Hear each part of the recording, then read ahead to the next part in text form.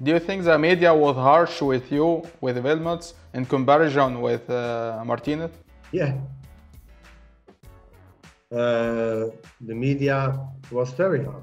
I, I, I can I can give you something that I was uh, the game against Holland was one guy one guy come to me one guy from the media come to me and say I will talk to the coach okay I will ask that he have time for you after the train, before the press conference and I say coach one journalist will talk to you okay let them let them come in uh, let them in and he said to me, the journalist, no, I will talk only alone with the coach. And the coach said, no, Vital is always stay next to me. He must listen to everything are happening. Uh, and he said, okay, that's good, no problem. And then he said like that, coach, I can make you a big trainer, but I can kill you also. But when you give me, when you give me before the game the names of the players, I make you a big star. When you don't do this, I kill you every day. And he did it. Till today, let me give an example. Till today, he killed my coach every day.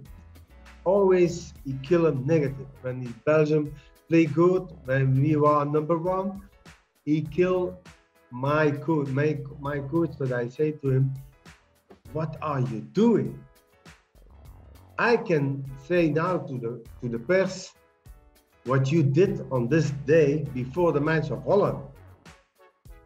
I did this. I, I say to the people, this has happened before we started many, many, many and everybody was uh, what? Is this? I said, yeah. I write it also in my book. I write a book.